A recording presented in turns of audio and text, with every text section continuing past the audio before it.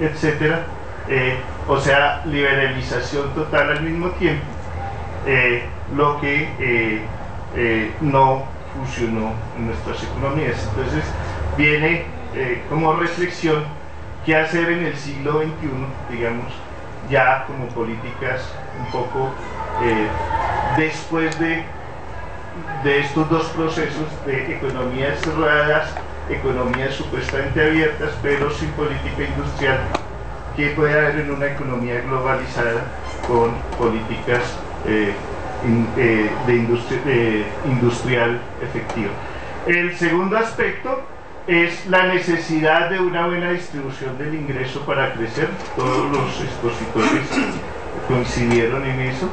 Y el hecho de que una mala distribución del ingreso no genera crecimiento en parte por falta de mercados. Eh, eh, lo subrayó el profesor Ortiz y en la parte de metropolización la falta de mercados también ligada no solo a la mala distribución del ingreso sino a la concentración en unas pocas zonas y la falta de comunicación en el país.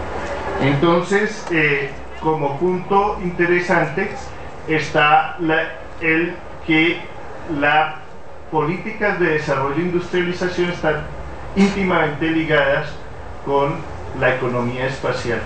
Y ese es un punto de investigación futuro que me parece muy interesante es el que ya no se compite a nivel de empresas ni de países sino de regiones y una región que provee bienestar a sus ciudadanos que tiene buenas instituciones que tiene eh, buenos servicios públicos para que la gente eh, altamente calificado emigre hacia esas regiones, pueden ser las regiones más competitivas.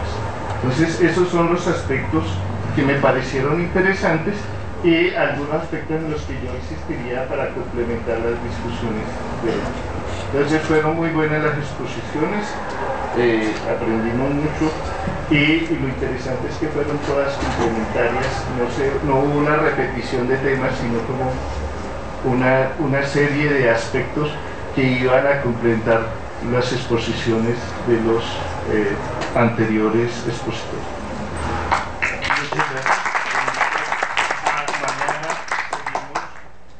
Eh, las conferencias. Empezamos a las 9, ¿no?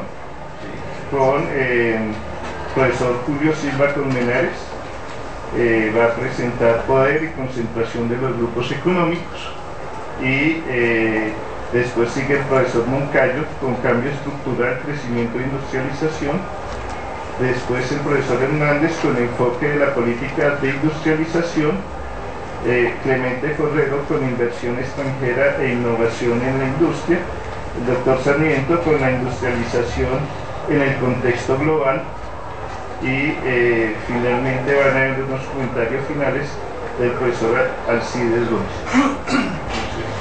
Bueno, muchas gracias Fernando.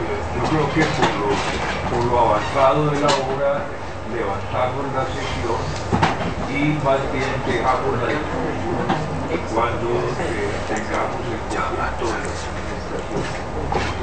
Amen.